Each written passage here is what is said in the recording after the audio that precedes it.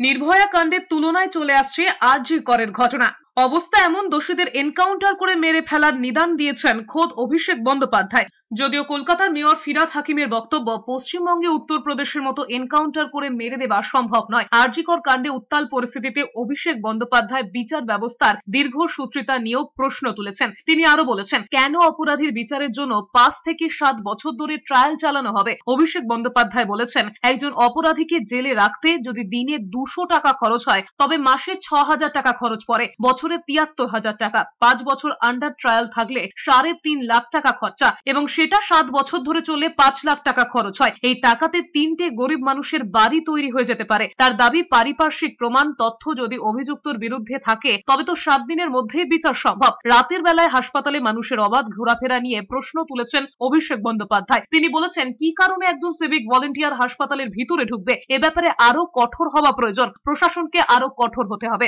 আমি তো বলছি, হয় যদি পারিপার্শ্বিক প্রমাণ, তথ্য আপনার বিরুদ্ধে হয় তাহলে হয় এনকাউন্টার করে মারা উচিত, নইলে ফাঁসির মঞ্চে নিয়ে গিয়ে ঝোলানো উচিত।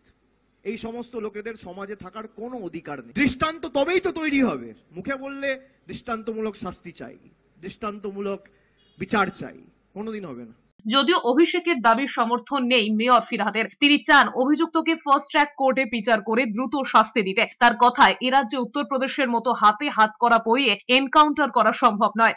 বিচার ব্যবস্থা, আমি তো বারবার বলছি ইউপির মতন পারব না। ভীষণ সাহস তো যোগী সরকারের। হ্যান্ডকাপ পরিয়ে ফায়ার করে দিল গুলি করে সেটা পারব না। কিন্তু কোর্টকে আমি বলব নিশ্চয়ই বা ফার্স্ট ক্লাস দৃষ্টান্তমূলক শাস্তি দিক।